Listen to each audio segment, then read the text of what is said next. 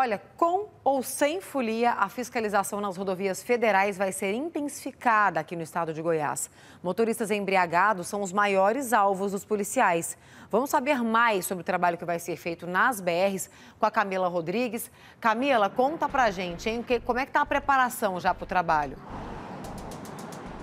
está bastante intensa, justamente é esse o foco da Polícia Rodoviária Federal, intensificar o patrulhamento aqui nas nove rodovias federais que cortam o estado de Goiás. A gente está exatamente aqui na saída para Anápolis, na BR-153, mano. O movimento agora está tranquilo, né, considerado tranquilo, mas a expectativa a partir da hora do almoço dessa sexta-feira é que esse movimento aumente em aí até 30%. Por quê, Manu? No ano passado, 2021, não teve carnaval em nenhuma cidade turística, estava tudo fechado. Só que este ano, a gente viu nas outras reportagens aí, algumas cidades, inclusive Caldas Novas, né? Aqui é um trecho que dá acesso a Caldas Novas, por exemplo, vai ter um grande festival. Então a Polícia Rodoviária espera esse aumento de 30% na movimentação das rodovias que cortam o estado de Goiás. A gente está aqui com o Newton Moraes, inspetor da Polícia Rodoviária Federal, que vai explicar um pouco mais para a gente sobre essa operação que foi montada pela Polícia Rodoviária Federal que começa hoje e segue até a próxima quarta-feira, dia 2. E o foco dessa operação é combater a embriaguez ao volante, né, Newton? Bom dia para o senhor. Bom dia para você, bom dia para aqueles que nos acompanham. A tônica desse carnaval é exatamente isso: combater, coibir, impedir que condutores alcoolizados peguem o carro, vá para a estrada, envolvam em acidentes ou mate alguém. Aliás, essa preocupação não deve ser só da Polícia Rodoviária Federal, deve ser de você que está na estrada, que percebe alguém zigue-zagueando. Lembrando que estamos com equipamentos distribuídos por todo o estado de Goiás, nas nove rodovias federais. O exemplo está aqui bem pertinho, para que as pessoas conheçam essa ferramenta.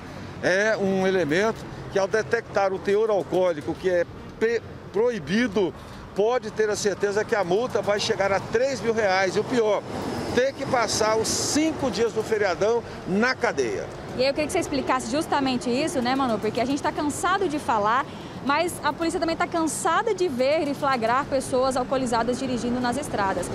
Como é que é a questão do teor? Em qual ponto o teor já cabe multa e depois cabe prisão? Primeiro lugar, nenhuma quantidade de álcool você deve ingerir para esperar se o bafômetro vai indicar que você está ou não alcoolizado. Existe um teor muito pequeno, que é 0,04, apenas para dar segurança na questão da aferição do equipamento, que é uma pequena tolerância, que é muito pouco esse consumo.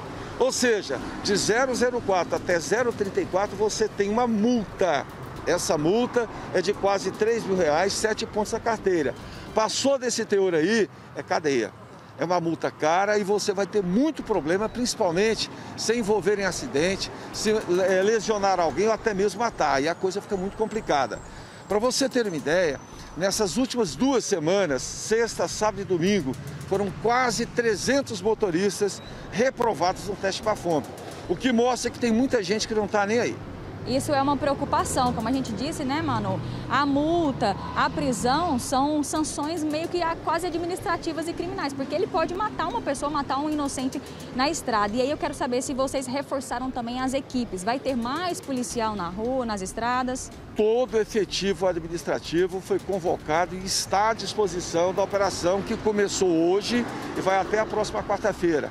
A nossa expectativa é que essas 11 mortes que aconteceram nos dois últimos carnavais não aconteça nenhuma. Mas isso vai depender muito de você, de você motorista, em dirigir com responsabilidade, em dirigir com segurança e denunciando qualquer irregularidade que você perceber.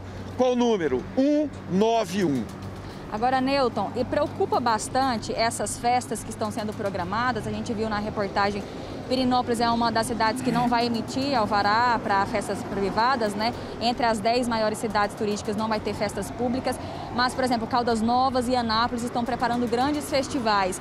Isso preocupa também a Polícia Rodoviária Federal? Olha, eu acho que deve preocupar quem vai beber e vai pegar a estrada, porque a polícia vai estar de olho em você, vai estar de olho naqueles que trafegam regularmente E mesmo assim, muita gente acaba desrespeitando, criando aquela coragem indevida para colocar em risco a própria vida e a vida de todos. Então o que a gente quer é um carnaval tranquilo, ou seja, um feriado onde todos possam ir e vir em segurança. Mas vamos fazer a nossa parte. Não queremos aqui na quinta-feira anunciar mortes, anunciar prisões. É ruim para nós, é ruim para todo mundo.